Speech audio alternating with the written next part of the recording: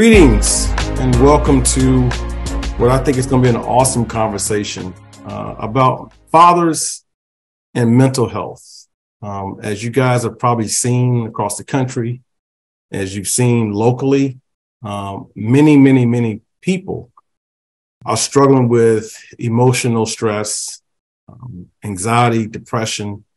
But there's a unique population that deals with it in many ways in silence, and that's fathers men, and in some cases, boys. And so today we want to talk about how this affects fathers. And so we have three amazing men who have their own stories that I want to start with introduction. So I'll go Darrell, Dion, and then Joseph. So introduce yourselves in the way that you want to be introduced. Start with you, Darrell. Uh, how you doing? I'm Darrell Lyons. I am a father to a young queen uh, 15 years old, a young king, nine years old, and it only gets better. Hey, y'all, I'm Dion Chavis, family engagement educator, husband to Aisha, uh, father of Maceo and Nyla. I have an 18 year old daughter and a five year old son who is on the autism, autism spectrum, and I'm glad to be here. Hey, and I'm Joseph. I'm a father of four, ages from three all the way to 15. So things are always fun and interesting here.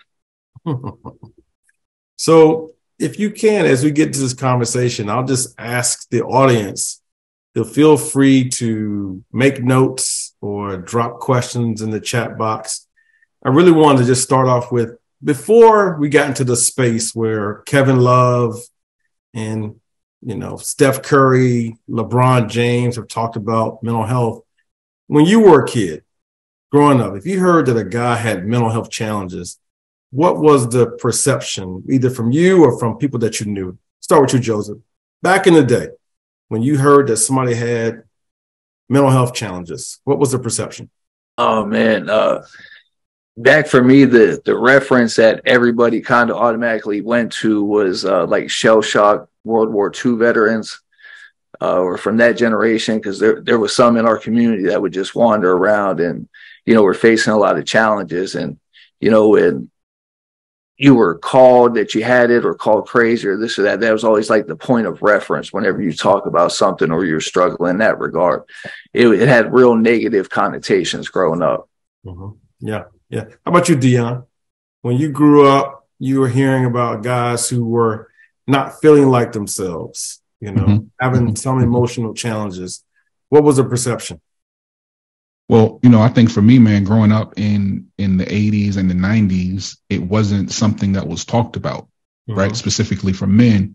Um, the only person that I can think of who, you know, I might have known that openly struggled with mental health was uh, just a guy that was a friend of my family, and um, you know, they would say that's that, that's crazy, such and such.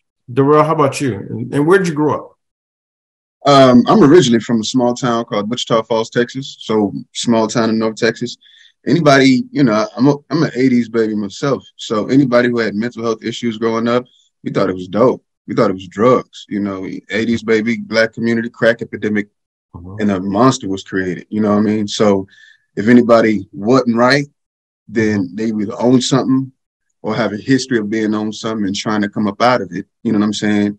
And then, you know, your grandparents say, normally if you would see somebody who wasn't quite right per se, uh-huh. they would, they would be well enough to carry a Bible. Uh-huh. And that's what my grandmother would say. My grandmother would say, yeah, he ain't got much. They say he ain't got much sense, but he got sense enough to carry that Bible. Yeah. And everything would be, but everything yeah. would be okay after that. And then it'll be, you know, something dealing with, um, you need to take your medication he mm-hmm. off his meds, so to mm-hmm. speak. Yeah. And so, and that's the way people handle it. You know, he he mm-hmm. he needs to take his meds. He needs drugs, not necessarily illegal street drugs, but you know, take your medication that was prescribed to you by your doctor that you know people went to go see for mental health issues, but there was no actual, you know, dealing with it in the sense of there, there was no sense of empathy. I think that's what I'm trying to say. There wasn't as much of a sense of empathy. It's either he owned something or he needs to get some medication and we'll just go throw a bunch of medicine at it, illegal and legal drugs. Uh-huh, uh-huh, uh-huh. So on the subject of, of mental health, uh, Dion, I'm gonna come to you.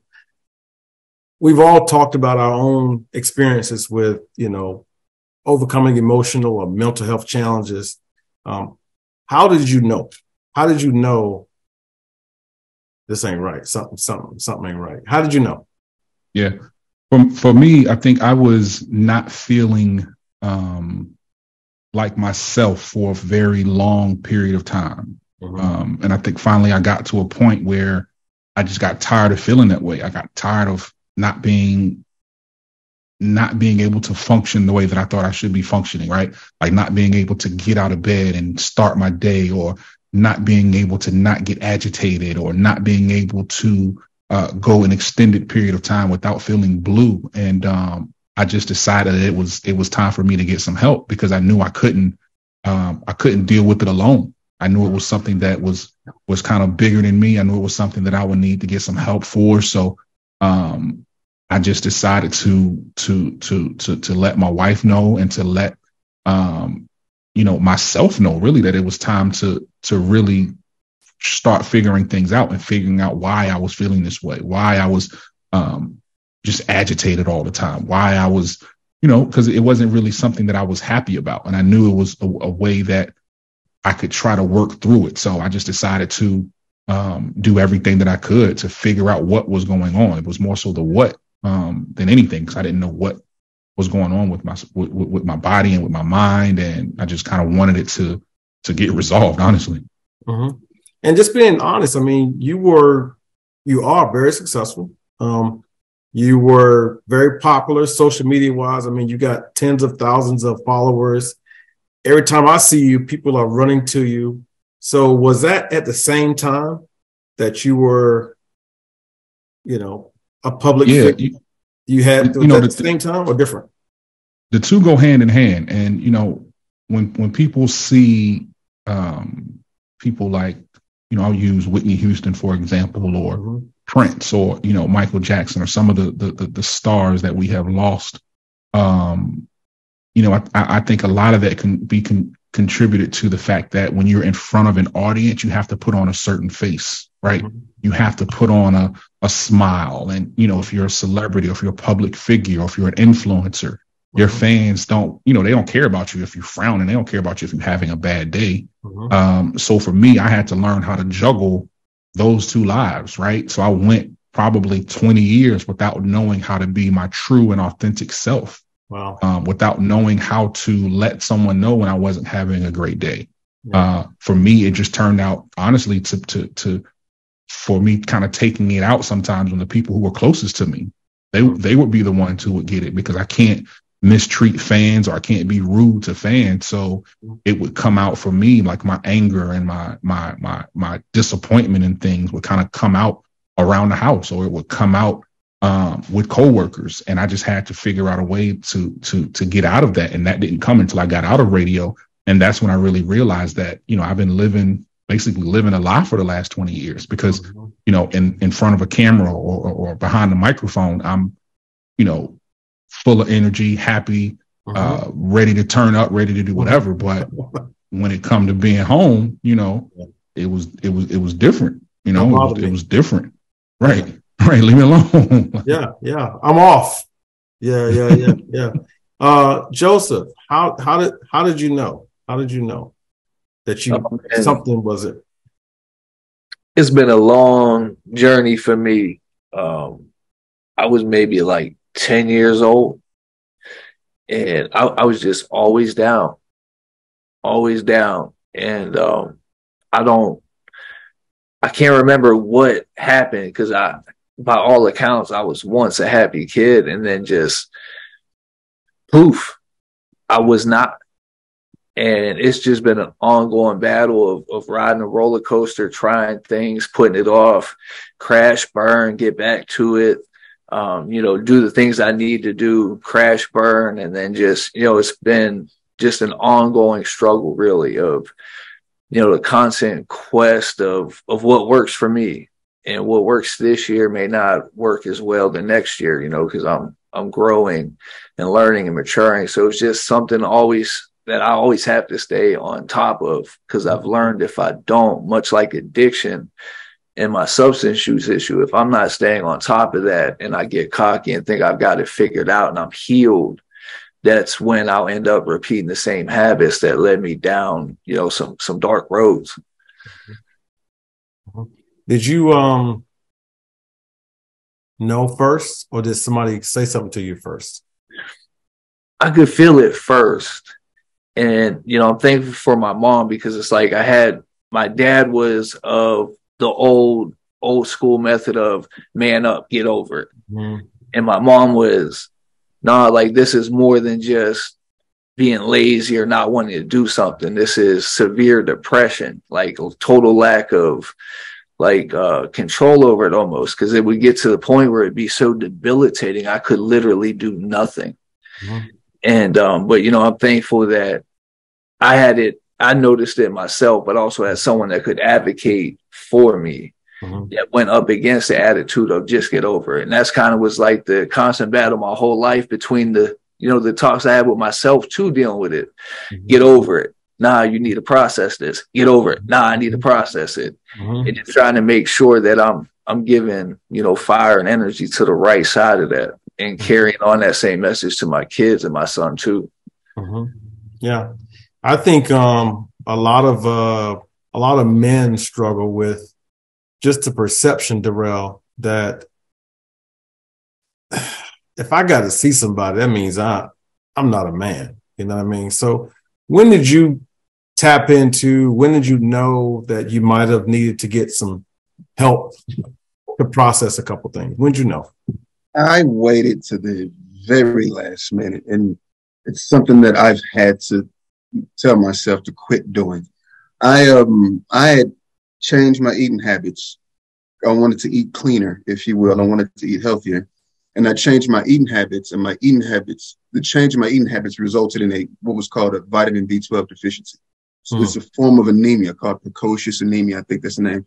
Um, but what the issue is when you when you're deficient in vitamin B12, vitamin B12 is a vitamin that very much affects your energy levels and it affects your mood, your, mm-hmm. you know, your, your mental health in that way. When you're vitamin B12 deficient, I was, you're very depressed. Mm-hmm. You know, there's no energy booster. There's no booster, period. So I'm very depressed, very exhausted um, my mind is everywhere. I couldn't focus, both depressed and anxious. Mm-hmm. So it's like you're on both sides of the scale and you're not really in control of anything. And this is your mind we're talking about. Mm-hmm. And I'm exhausted. And so, you know, I remember experiencing a lot of not only physical issues, mental issues, physical issues, but financial issues, like in my household. Like I couldn't, my house was in foreclosure because I didn't have the energy to work, mm-hmm. to get up and go get it. You know what I mean? Mm-hmm. And and then it it started transcending physically. You know, I, I would see physical results. Um, my I would drop weight drastically. Like my normal walk around weight is like 210, 215. Mm-hmm. By the time I went to the hospital, I was like 180. And it, wow. that confused me because, you know, my weight had started with a one since my age started with a one. You know what I mean? And it's been mm-hmm. a while. I got two kids. You know what I mean? Yeah. One is 15. You see yeah. where I'm going with this.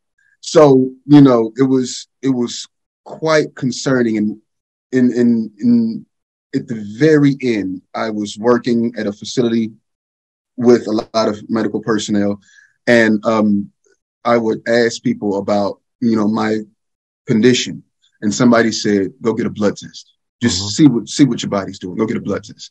And I went and got a blood test and realized I had all these things that was wrong with my blood because there was no vitamin B12 in my blood. Mm-hmm. And when I finally broke down and went to the hospital mm-hmm. and had a blood transfusion, that's when they mm-hmm. told me, oh, yeah, if you're vitamin B12 deficient, it's going to affect your mood. It's going to mm-hmm. affect this. It's, and that answered all my questions. Mm. So, you know, relatives would come by for Thanksgiving.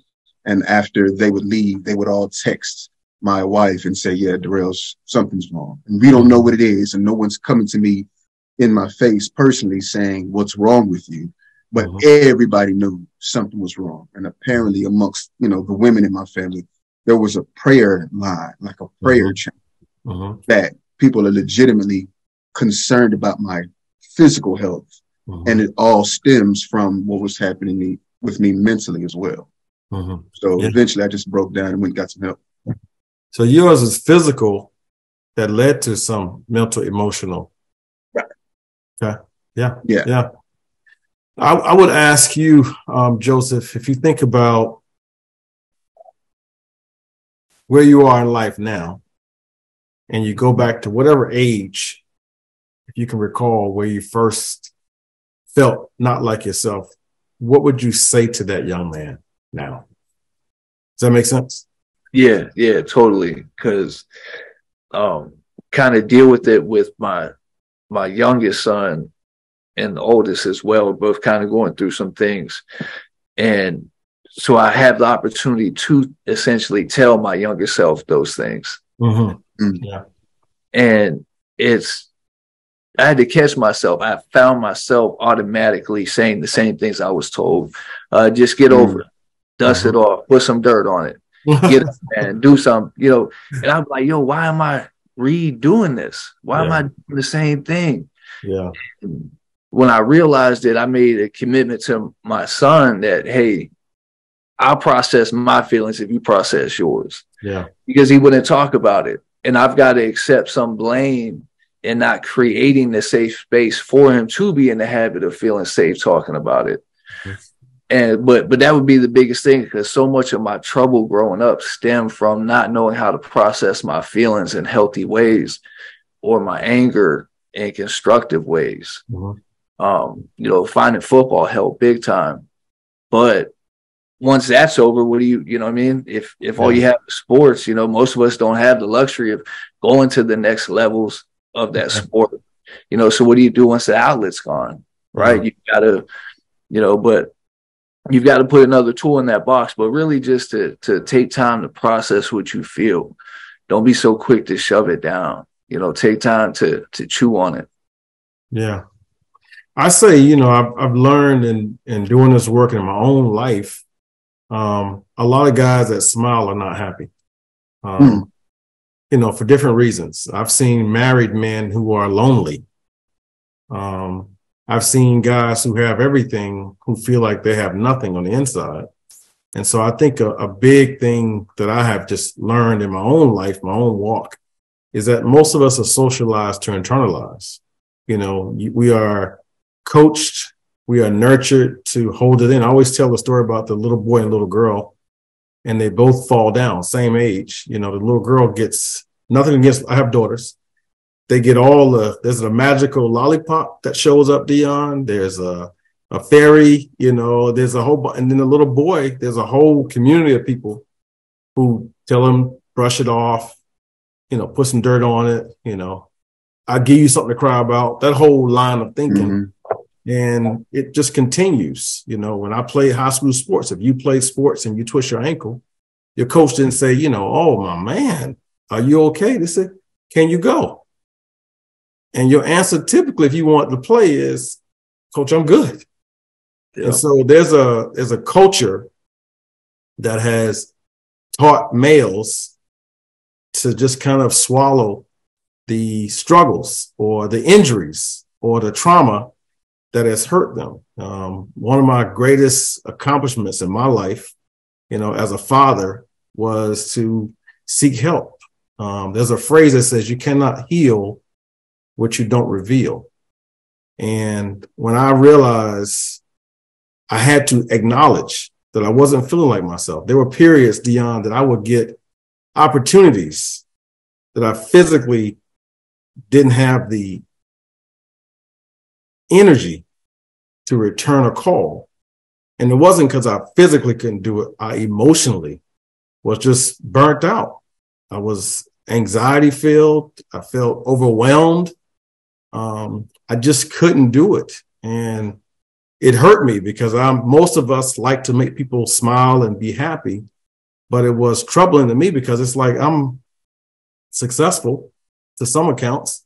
I'm happy doing what I love, but there was something that, like Dion said, I just couldn't figure out why I was napping and, you know, uh, snacking and, you know, trying my best to motivate myself and even doing my best efforts.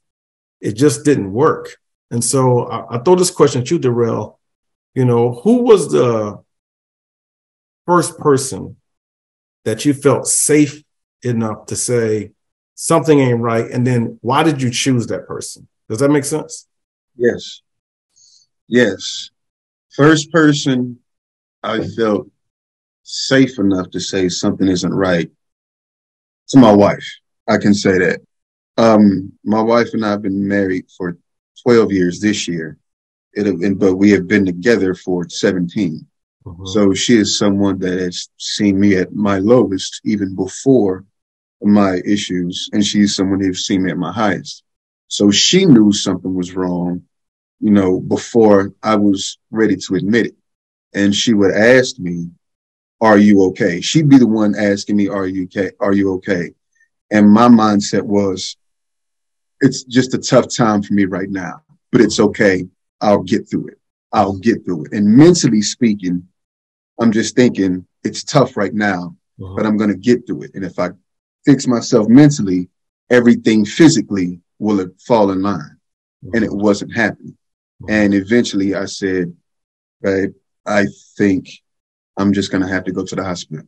Mm-hmm. And she said, Oh, okay, cool. Let me get my things. I'm going to call, you know, mom in law, my mom, or her mom, my mom in law. We're going to have her sit with the, come over, sit with the kids, and I'm going to go with you to the hospital. Mm-hmm. And, you know, she was, she's never been one to judge.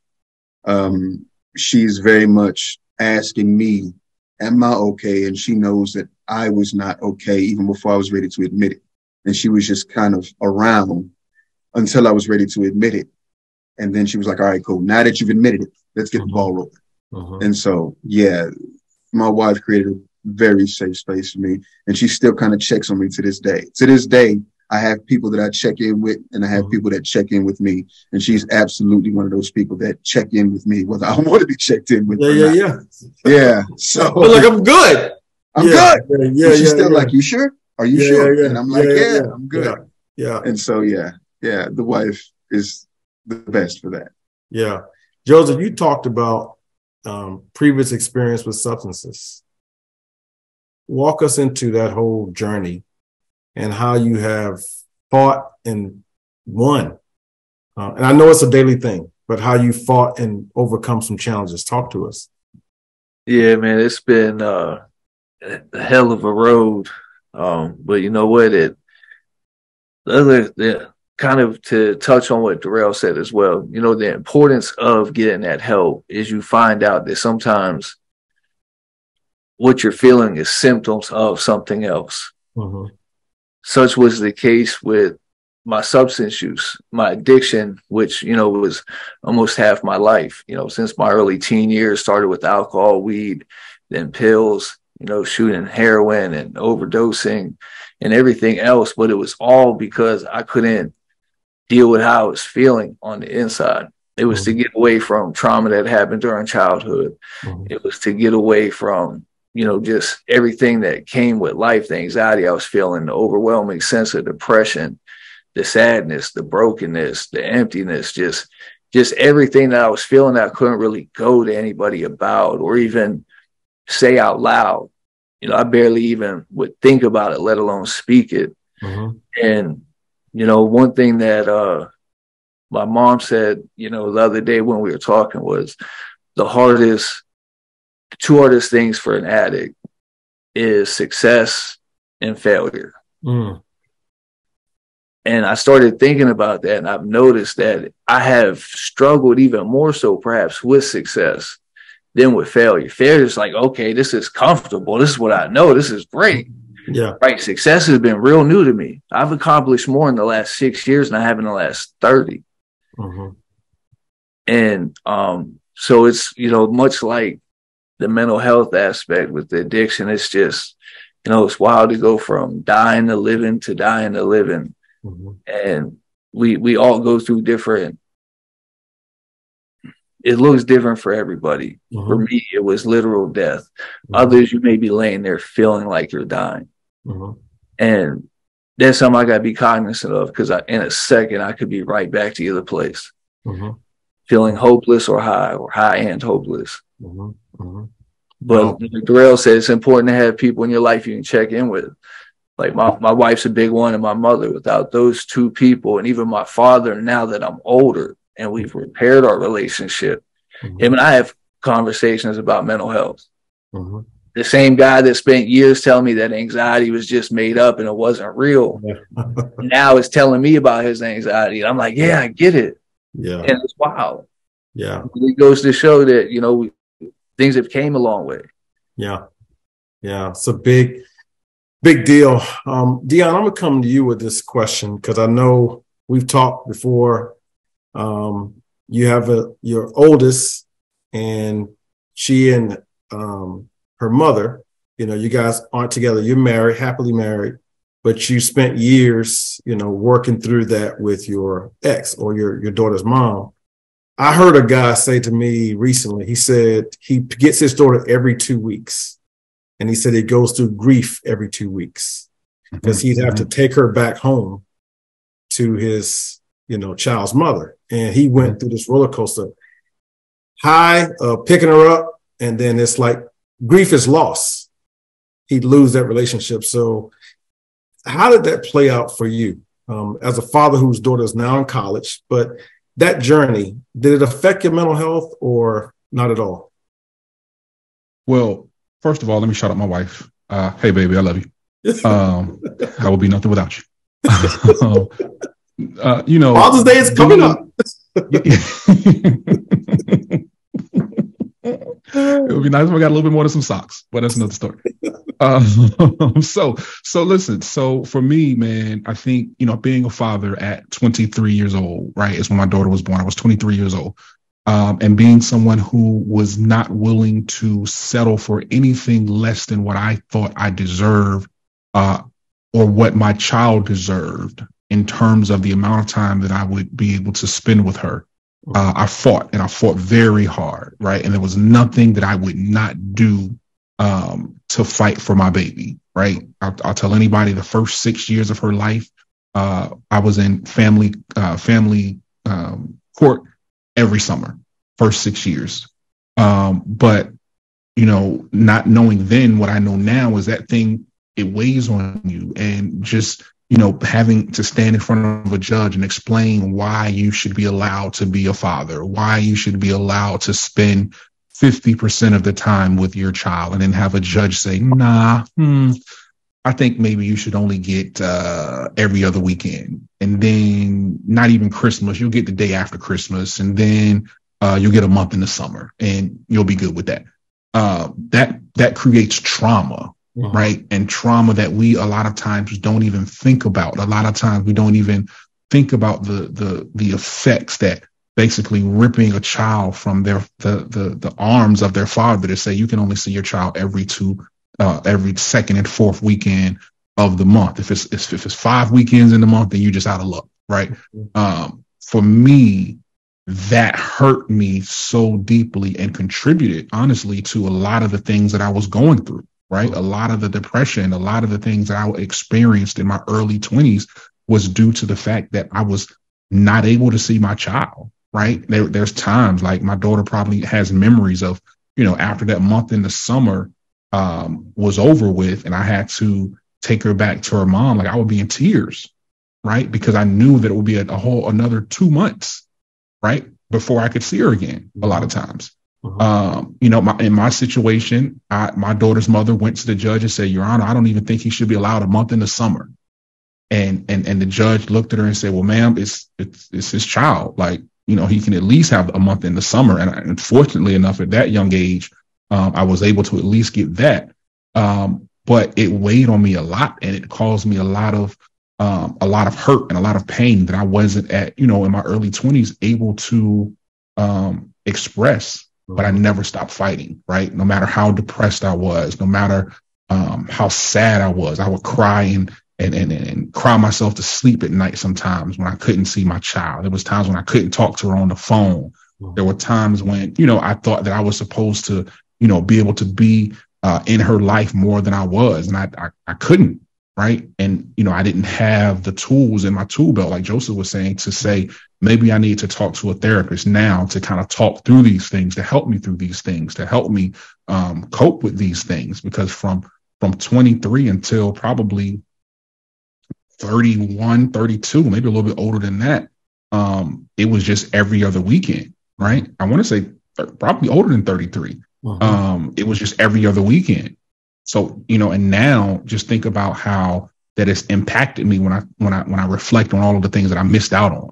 Right. We my daughter and I have a great relationship. And you know, there are things that she tells she can tell you. I told her how to tie a shoe. I told her how to do uh, double digit multiplication and all of these great things, but there's still small things that I'm like, man, as I'm raising my son, um, I think about my daughter, like all of the small things, the day to day things that I could have missed out on, like eating, eat, having meals with her every night or having uh, to take her to the park or take her to school every single day. You know, those car rides to and from school are, are they're priceless, right? Mm-hmm. Um, so I think about now and reflect on the things that I miss out on, and I have to kind of self regulate myself to say, okay, well, you did the best you can with what you had, right? I, I couldn't have done any more else. I did the best I can in the moment with what I had, but it definitely impacted me and it definitely hit me um, extremely hard. Mm-hmm. Yeah. Yeah. You talk about those car rides. I mean, um, it's so many moments that are not weekends that matter uh, mm-hmm. to fathers. Um, not ho- not holidays either. Um, one of my favorite memories with my kids is driving down 95 and we had a flat tire. And my wife wasn't with us. Me and my daughters, they were little and they were emotional. And I'm just like, I didn't know the answer, but I was like, listen, we good. There's a hotel right here. We're gonna get in this pool. Meanwhile, they're in the pool, and I'm trying to process how am I going to get this resolved. But if you ask them today, that was 10 years. If you ask them today about memories, all the fun stuff we've done, Christmases and birthdays, they will typically mm-hmm. go back to something like that. And so, you know, I totally feel you on everything you said. I'm gonna come to you, Darrell. If you look into the camera and let's just say there's a person who's about to start working with fathers tomorrow. They're newly hired and they're about to start working with fathers. And they're working with guys who are going through it. You know, what advice would you give this new staff person when it comes to working with men who are going through child support, custody, visitation? Maybe he just got out of prison. Maybe he doesn't have a job. You know, maybe he hasn't seen his kids and he's trying to figure this thing out. What advice, what approach would you encourage them to take when it comes to connecting with this young man? First of all, in the simplest way, the simplest thing you can do is just encouraging, encourage that young man to keep showing up. Mm-hmm. Showing up is half the battle. I'll tell you that off top. Keep showing up.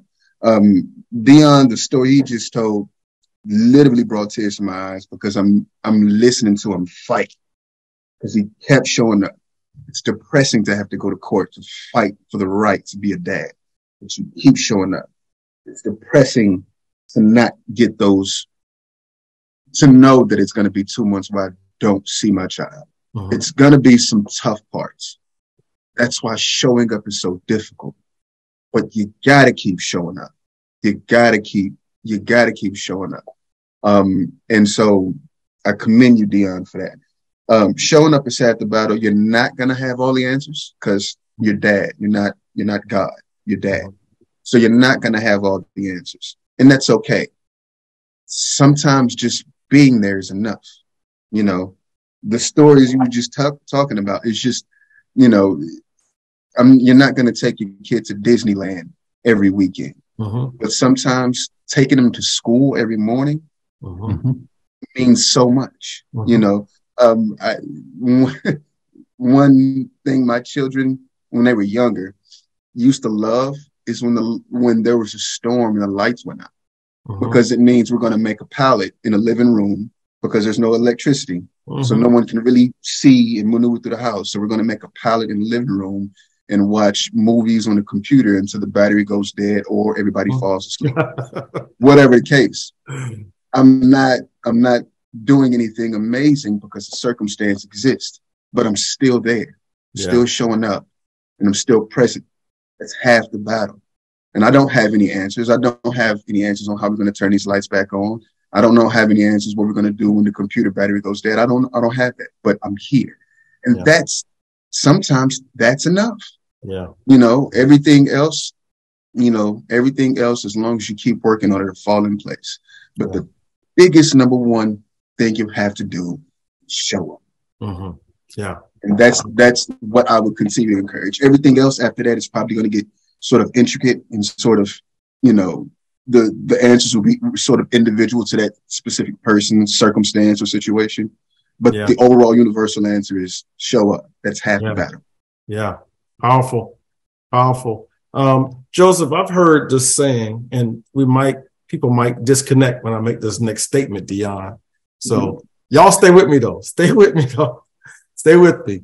I've heard this saying when I got married, um, happy wife, happy life. Y'all ever heard that saying before? Right. And sociologists and researchers have researched the meaning behind that. And it obviously means whatever you do, man, make sure she's happy. The counter to that is that you kind of suffer in making that happen. So here's a question I want to ask you. How can fathers effectively manage the balance of happy wife, happy life and his own happiness? Does that make sense? Is there a way to do both? Yeah, yeah. It, it's called Happy Spouse, Happy House. right. The remix. The remix. that, that's what it is because if if just one of us are good, it's like we back on that interstate with the flat tire. Yeah. It, we we may get somewhere. It's going to be a bumpy ride though. Yeah. Um, and I really found that out once I got away from. I've got to uphold these stereotypical roles and give others life at the death of my own. Yeah. Meaning I've got to be everything to everybody and nothing to myself. Yeah. Ultimately means at the end I can be nothing to nobody. Yeah? Because I'm eventually going to run dry. And that's what did happen in my life. But the beautiful thing that came out of it as I was going through my thing, in my moment of weakness, I found strength in my wife. Mm-hmm. And my wife's moments of weakness, she finds strength in me. Mm-hmm. You know, ideally, every day we'd both give 100%, 50 50, whatever. But, you know, in reality, it's more like 30 70, mm-hmm. 20 80. It's like you're buying ground beef at the grocery store. you know, but but that's that's what it's like sometimes. Yeah, yeah, yeah, I just pray, Lord, give me more of the days where I can be more than what she can, right? Yeah. Uh, just you know, but it's important to have that place, a relationship to be. there. Yeah, yeah.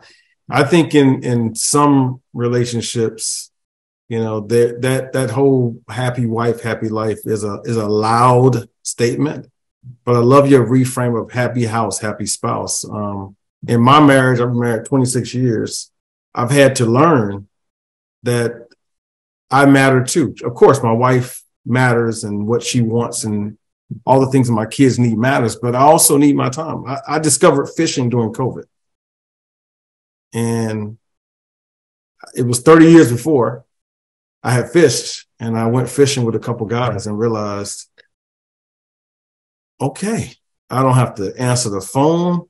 I'm not on an email. I'm not in a meeting. This is true mindless behavior.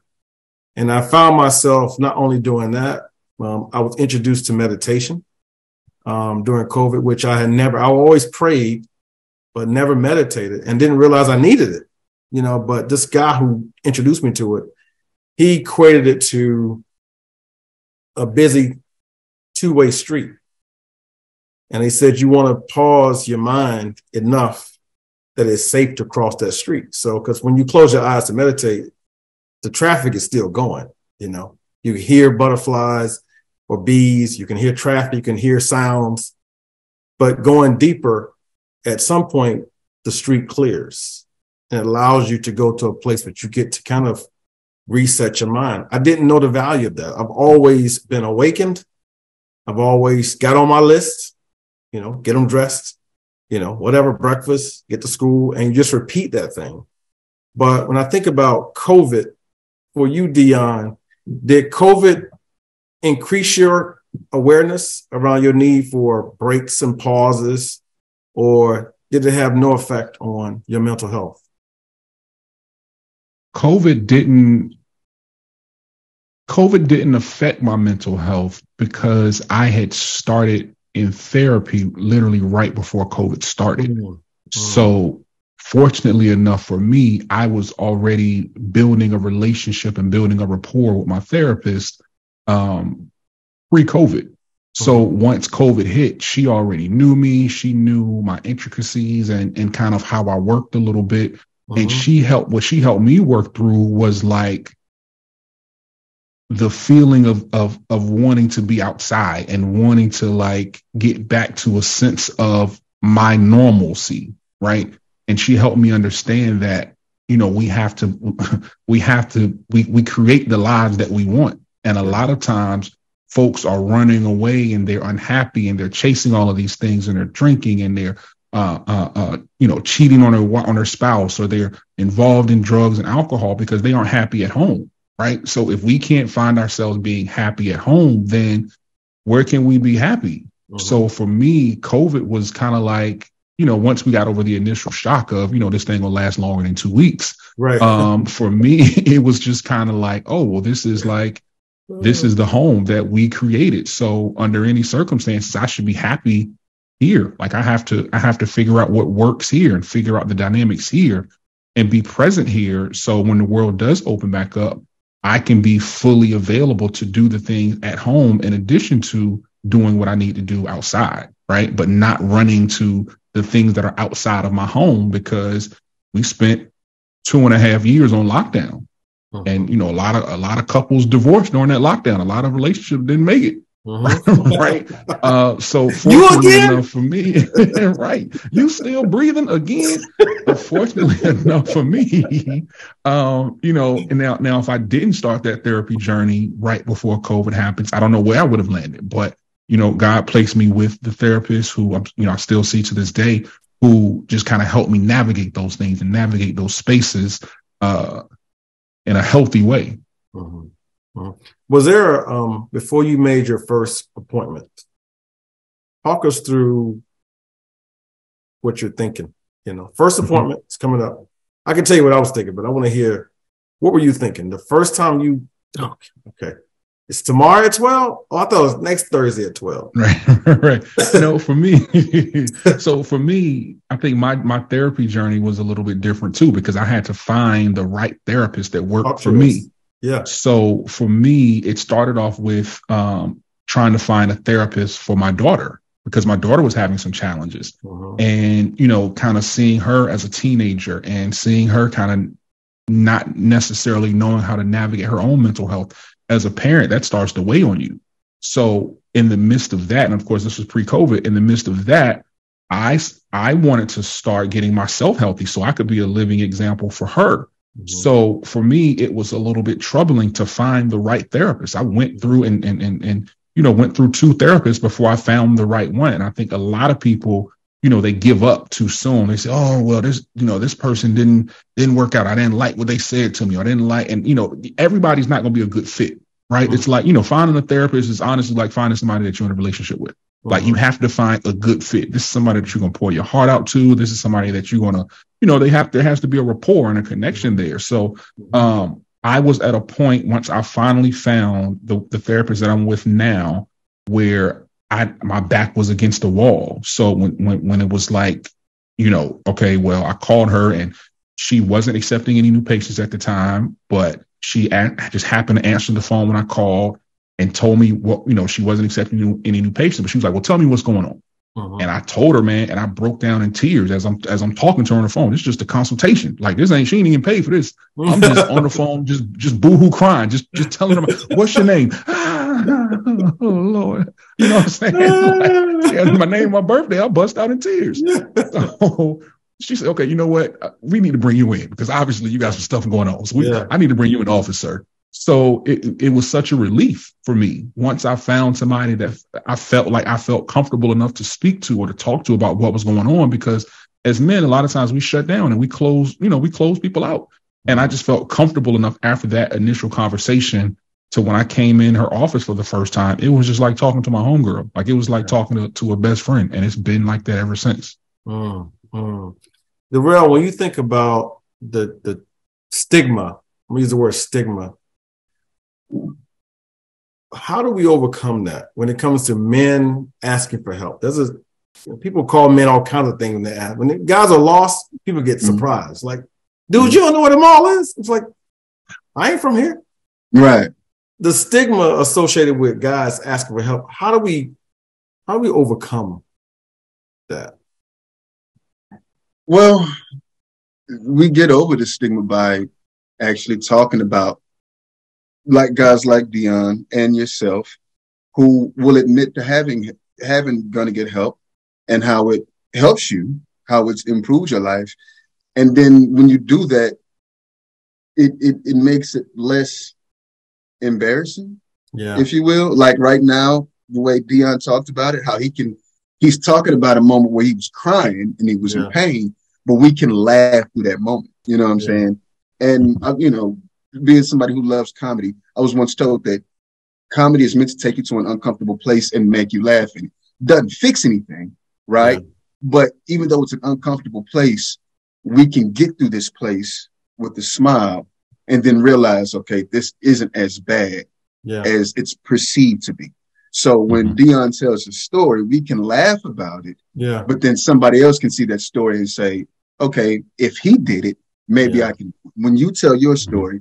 If he did it, okay, maybe it's not that bad. Let's try it. Mm-hmm. And so I've, you know, I got a number of, of close affiliates who have talked about their experiences in therapy and will openly talk about them to me and I'd welcome the conversation because I'm yeah. thoroughly interested. You know, I'm thoroughly interested in how this experience, first of all, you're vulnerable enough to admit that you did it. And yeah. then I'm going to encourage you to talk about how it's helped you. You know what yeah. I'm saying? So I'm, I'm thoroughly encouraging it. You know what I'm saying? And I'm, I'm glad that you guys are telling these stories because it makes it, again, it's less embarrassing. It's, it, it, the stigma gets removed once we as a collective community says say hey it's okay yeah it's okay yeah, yeah. it's so um you were smooth with all of that but i swear sometimes it feels difficult you know because i've had conversations dion and i have been to lunch a couple different times and it's no greater feeling man it's like you find somebody who without judgment is just i get it bro and for some, it's not even help me fix this. It's just, I hear you, bro. I get it. And a lot of people assume that some men want things fixed, and some do. But there's hundreds of men who each of us, I'm talking even to the audience who are connected to men today, your husbands, your brothers, your sons, your uncles, your coworkers, who just want to be heard. They, they don't even want it fixed. They just want to be listened to. Um, one of my closest, closest partners was on the brink of divorce and tied to that was suicide. And he, out of all the people, he called me to have a conversation. And if you're looking at social media and the last time we talked, it was celebration, you know, brother was doing his thing. And in our conversation, he just shared that for so many years he had been publicly happy, but personally sad. And he had several things that he walked me through that I can remember him being absent from. And I'm thinking nothing of it, but they were all tied to his drinking. Mm. And I just said to myself, hey, this is not your chance to talk. The only thing you need to do in this conversation is just listen to this brother. And I will never forget at the end of his conversation, we started at 6 p.m., 3 a.m. is when we finished. And most of that time, I did no talking. I did no talking. He just kept going deeper and deeper, like unpacking this thing. And at the end, I just said, here's what helped me. I said, I just need, I needed somebody to to talk to. I said, I I am honored that you called me. But I'd also say you should think about calling somebody else. So he struggled for a month making that call, Dion. It wasn't because he didn't didn't want to make the call. He didn't know how to make the call. So I sent him a couple of resources and offered to do the call with him. But the mental Olympics that he went through for a month was all the stigmas, you know, you a man asking for help, all of this. He went to his session and he had a similar story to you, Dion. Should have been an hour. Y'all might have the same therapist. I don't know because he said this lady let him talk for. He went for two hours. He went for two hours, and this brother is, you know, he's he's strong and physically imposing. He went for two hours, and he said to me after he could not stop crying during this conversation. And so, my deep belief from my own experience, and you just cemented it, Dion, is that a lot of brothers just want to be heard without judgment for one, but interruption.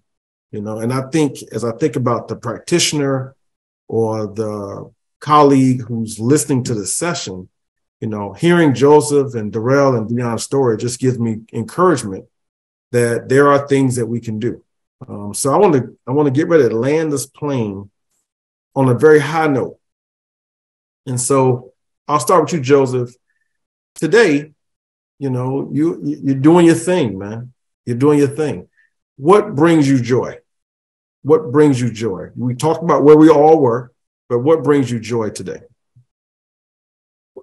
I've gotten a lot of joy doing the little things. I missed so much working every day, you know, 50, 60 hours a week, Monday through Friday, Saturdays, a lot of Sundays, the little things, getting the kids up at five in the morning, making them breakfast. I've gotten to experience over the last 13 months a lot of things I missed out on for years. Um, but it's important to have things outside of the kids too. And it's really just walks outside of nature. I love being outside. Used to hate it all these years, but just being connected to the nature, my faith, you know, just seeing so much beauty in the world that we're surrounded by. It's easy to forget that beauty when we're going through the dark struggles inside our minds. Mm-hmm. Joy. Darrell, what brings you joy today? So I was once told that there are three types of confidence. Confidence that comes from material possessions, what you have, and when you don't have it anymore, that confidence is gone. Mm-hmm. Confidence that comes from what you do. Well, I think we talked about this earlier. If you play football, you play basketball, your confidence may come from that. When your playing days are over, yeah. what do you do? And that can yeah. be a you know a loss in confidence. And then there's a confidence in just being who you are. Um, I came up, I came up playing basketball, and a lot of us idolized a lot of NBA ball players that we had never seen in real life. Mm-hmm. Well, now I see my nine-year-old son running around my house stepping. I'm a I'm a brother of Phi Beta Sigma Fraternity Incorporated, mm-hmm. and so he's YouTube some of my college step shows and seen me step, and so now he's running around stepping all over my house now which is hilarious to see it, but it also brings me a lot of joy because his role model isn't somebody who he doesn't see. Yeah. His role model isn't somebody who he, he just sees on the television screen. Uh-huh. His role model actually wakes up with him at six thirty in the morning Love to it. get him dressed for school, and and those and and you know and, and take that ride to on the in, the in the car with him to school to step practice in the morning at his elementary school, uh-huh. or help him get on the bus um, the idea that I know I've broken that cycle, that I didn't grow up with my dad, my wife didn't grow up with her dad, but we've broken that cycle in our household. It brings me an immense amount of joy. Love it. That's the right word to say. Immense yeah, yeah, yeah. Nope, nope, nope. Solid, solid. Dion, joy. I just want to. I just want to ask Darrell real quick. Is he YouTubing it, or did you sit him down and say, "This how your daddy used to do it back in the day"? So, okay, I'm gonna be honest with you. I'm be honest with you. Say, Let so, me see how that. that's true. Very good. Very good question. He showed me some of his steps that Sit he did down, I said. School, and then I showed him what I used to do. And then he took what I used to do to his practice. Okay. And I was like, right. that a boy, that a boy. Okay, okay, okay, okay. Do you okay, want dinner or not? Challenge. Love it. Uh, for for me, man, uh, I get joy out of out of number one out of conversations like this, man. Just having uh, fellowship with brothers who uh, I can be open and honest with, and, and and like you said earlier, like with no judgment. I think that's important. I think we all need to create safe spaces. I don't think there are enough safe spaces for men. Yeah. Uh, but you know, these types of conversations bring me joy, even on my, my worst of days, because I still struggle a lot of days.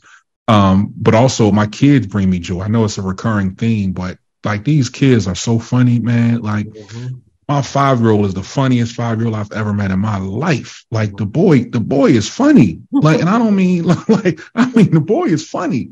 Um, and and also just now seeing the fruits of my labor with the 18, almost 19 year old, um, you know, getting a random FaceTime from her and having like an hour conversation with her on FaceTime about music. And she's telling me what she's listening to. I'll tell you a quick story. I moved her out of her dorm uh, over the weekend and she was cleaning her dorm out and she had her playlist. And on her playlist, she had Biggie and she had SWV and she had like a lot of 90s R&B artists to the point where I'm like Mary J and I'm just in there like, you know, yeah. just I'm I'm jamming. This dress ain't heavy. Like, I'm like, man, like somebody taught you good, and somebody was me. Yeah. But those types of things bring me joy, man. Just watching these babies grow and watching them develop, and then just actually, you know, planting the seed and then watering it, and then just really being able to watch it grow, man. That brings me so much joy in my life.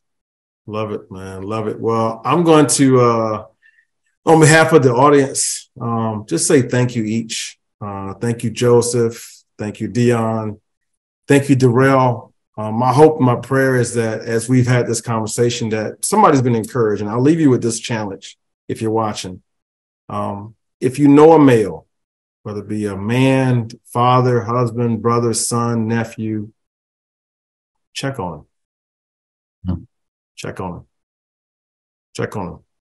If you can manage judgment manage it as well without asking the second judgment filled question, but just check on them. Sometimes it's just checking on you. Just want to hear your voice. It's good to hear your voice. Check on them. A lot of men that you might be in company with just need checking on them. So with that, I'll say thank you guys for a wonderful conversation and we'll see you later in the segment. Thank you. Thank you. Thank you.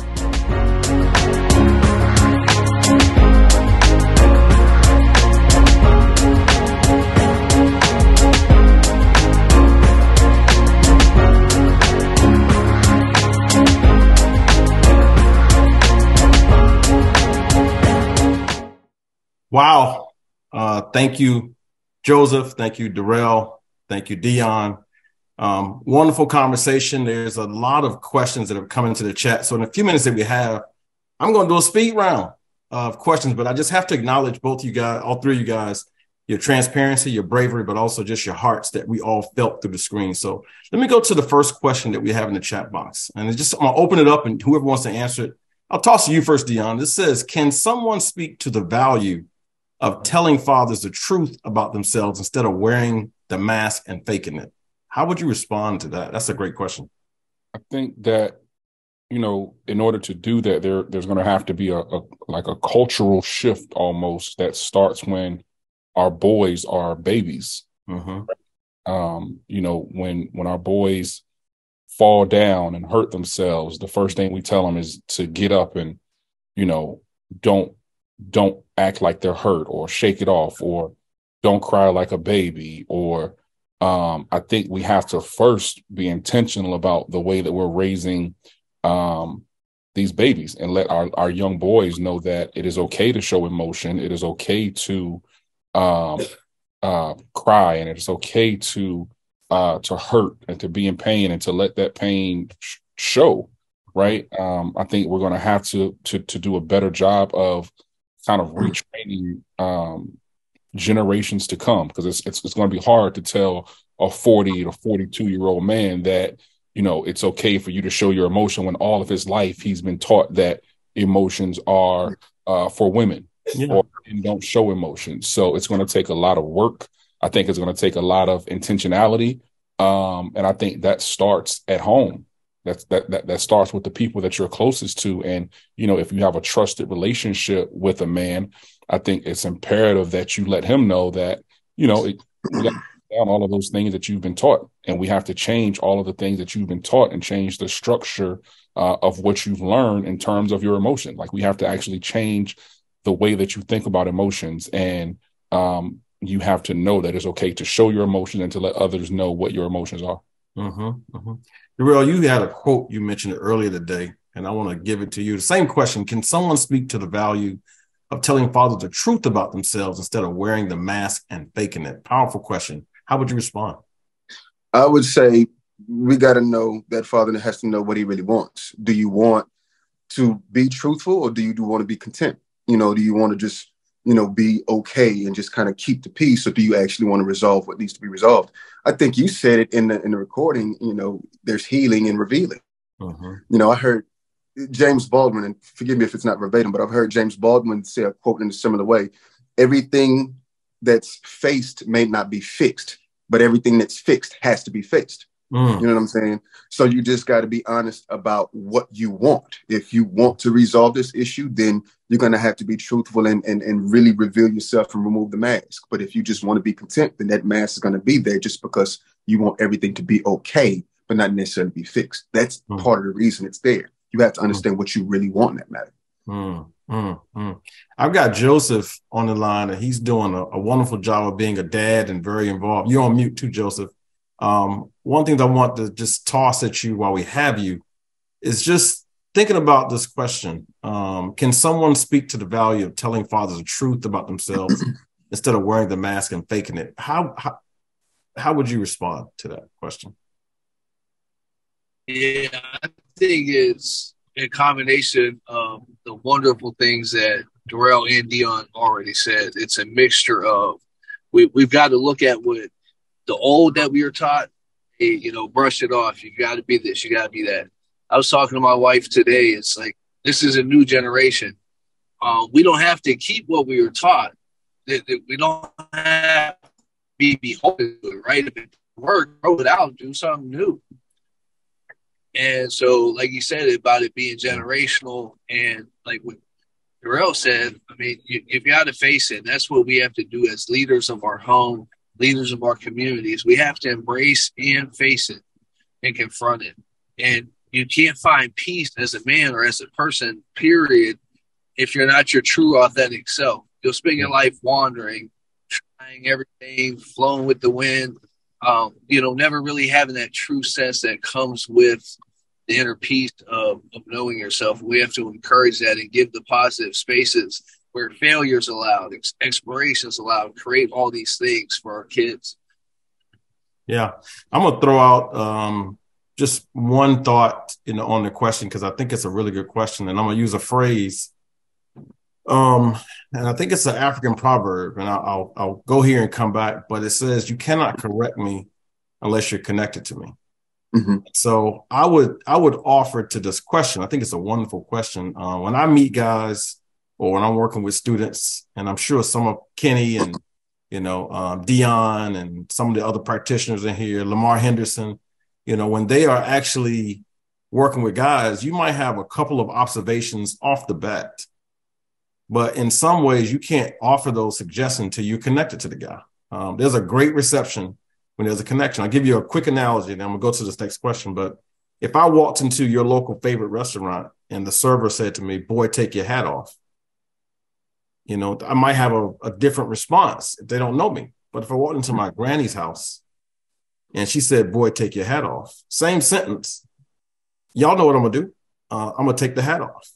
And the only difference or the major difference is there's a connection, there's a relationship, there's a respect between the two in that second scenario. So I always suggest as you think about guys who you want to give some honest, real feedback, you know, after that bridge, that connection's been made, you know, it's a lot more palatable. But if you think on the first day, you say, pull your pants up or take your hat off or remove your earrings and you don't know the guy's name, I can promise you, you're going to have a problem on your hands uh, down the line. So let me switch to uh, another question.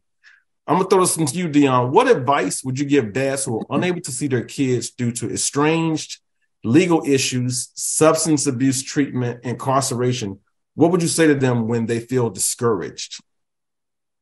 Um, the first thing that I always tell dads is that you have to you have to understand that this this this issue of of of fighting for your kids because most times that's what it is it's a fight. Unfortunately it is something that is one of those things that you don't always see the results in the beginning you know like a like you don't always eat the fruit the day that you plant it right? So if you are putting in the work if you are taking the right steps towards seeing your child and doing the right things it's going to be hard. Mm-hmm. um, but you have to continue to fight the good fight and and have faith um, in what you're doing and know that the things that you're doing, the things that you're putting in place are for the greater good and are for um, the benefit of your child. Like I said, my daughter is 19 now. Mm-hmm. I started fighting for her in the legal system when she was six months. Mm-hmm. Honestly, didn't feel like I was getting some results um, or, or, or, or, or I was able to see the result of my labor until the day I dropped her off at college. Mm-hmm right? Imagine going 18 years mm-hmm. of not feeling like the work that you were putting in was was showing you, so, right? Um, it wasn't until I dropped her off at her dorm at college and I looked back and I, as I walked away with tears in my eyes, I really felt like everything that I did was worth it. Mm-hmm. The moment that I knew that all of the fighting, all of the legal fees, all of the, you know, going to court and doing all of those things, that was that was the moment that I said, all right, I get it now. This is this is this is what I work so hard for. Mm-hmm. So my advice would be just to keep fighting, keep pushing because um, you know, the results aren't going to always show up the next day. Mm-hmm. They might not show up the next year. But when you have a child that you love and that you care about, um, it's your it's your duty, it's your responsibility to give it your all. And I'm a firm believer that the only thing that should separate a child from their parent or their father is death. There, mm. there's other excuse that should separate you from your children. Mm-hmm. Uh, so you got to keep pushing. Mm-hmm. Joseph, I'm gonna toss it to you. And I got one big question for you, Darrell. Um, how do you give a guy hope when it seems hopeless, Joseph? I mean, you work with dads every day. How do you give a guy hope when it seems hopeless? Well, like you said, the important part is establishing connection. But what's great about this work is a lot of times we're able to use our personal experience mm-hmm to give hope. So if I can see it, I can believe it. A lot of times that's how we operate. When I was hopeless and didn't know what to do and where to go, and I walked into a fatherhood organization, I, I came across guys that have lived it, walked it, touched it, tasted it, feel it. And so I was able to know, dang, these guys can do it and accomplish it. There's hope for me too a lot of times you may come from a place where there's not a lot of hope around you and you may have to go to somewhere else like that to get it but it's out there. And it's important that we're that for them because that's what they need and that's what they're looking for when they come to us as practitioners. Yeah powerful. Um Darrell, let me give you we got a few seconds left. I want you to finish this sentence. Um when a man is hurting he just wants. And this is a general statement. You can personalize it or you can use just general, you know, experience. But when a man is hurting, he just wants fill in the blanks. Filling in that blank, and this is a dangerous place to be in. Mm-hmm. Filling that, that blank is there is no universal answer. I okay. think what we've done in a society is sort of apply a generalized characteristic into an entire culture of men or entire gender of men. And the dangerous thing is that you have a tendency to treat men as if we're all the same. Mm-hmm. And it's so not true. So if you repeat the repeat the statement when a let man is it, hurting. Let me give it to you this way. Um, when okay. I'm hurting, when I'm hurting, I just need. When I'm hurting, I just need space mm-hmm. because I know myself. Mm-hmm. And that's a key factor. You mm-hmm. have to know who you are. Mm-hmm. You know what I'm saying? I, I heard a, I had a friend of mine that, that made this quote. He said, "You can lie to anybody in the world. You can lie to your friends. You can lie to your family. But the last thing, last person you need to lie to is the person in the mirror. Mm-hmm. Don't ever do that." Mm-hmm. So when I'm hurting personally, I know I need space mm-hmm. because when I'm hurting, I can get volatile. And that creates a lot of innocent bystanders, and I can blow up on people that have nothing to do with the situation. That caused me to hurt but hurt people hurt people. Mm-hmm. So when I'm hurting and you approach me, then as it, I, I, can dangerously approach you. Mm-hmm. Now that may be different for Dion. Mm-hmm. I, when I'm hurt, I might need space. Mm-hmm. When Dion's hurt, he may need consoling. Mm-hmm. When Joseph's hurt, he may just need a, a conversation.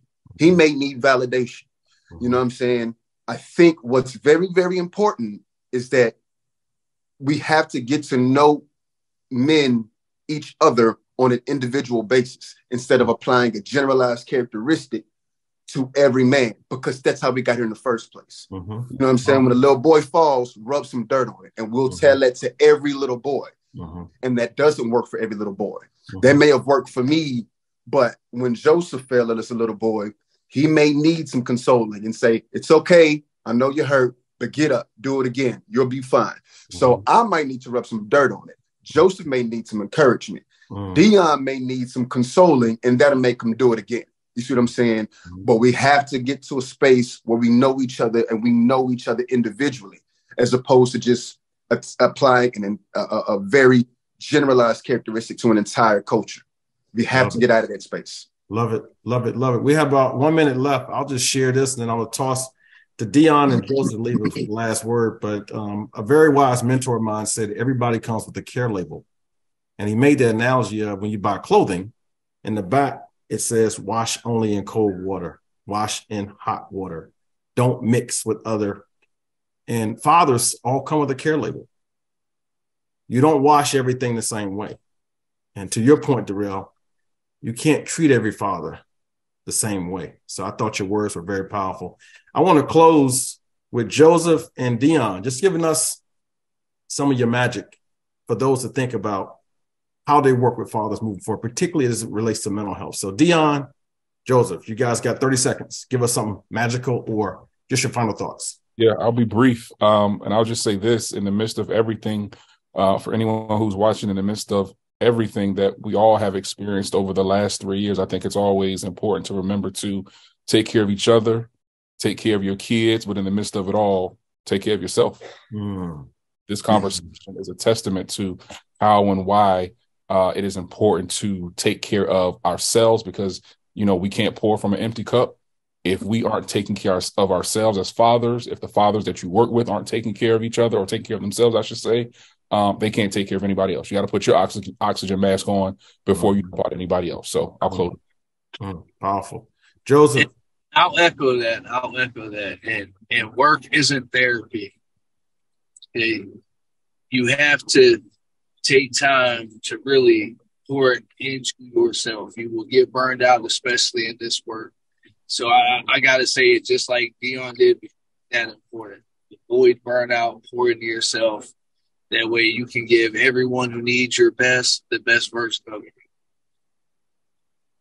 Well, we're at the time, and I will say this: um, hashtag therapy is good. Um, for those who have not tried it, um, it, it's a wonderful solution, one of many solutions to mental health, but for fathers, just encouraging them to do this. But I want to just do a dare. When I was a kid, I used to do a double dog dare. But I would I would dare somebody who's listening today to text a man, father, your brother, your husband. I so appreciate you. Something along those lines. Um, what I've learned as a father myself and as a man, and even my own father, when he struggled his worst, um, one of the things that I recognize is that men need to be affirmed. And finding a way to do that because technology are giving us that opportunity now. Just before now and Father's Day, between now and Father's Day, I just challenge you, I double dog dare you to send somebody, even somebody who you might have had a fractured relationship with, some of those magical words that just remind them that even y'all might not be on the same page, or you could be in an amazing space. Um, I so appreciate you. I so appreciate you. And just watch what it does. Watch what it does. Just watch what it does. Um, this is all tied to healing and, of course, forgiveness. But in the space around Father's Day, I just would challenge you to give a God that kind of deposit um, today. Today.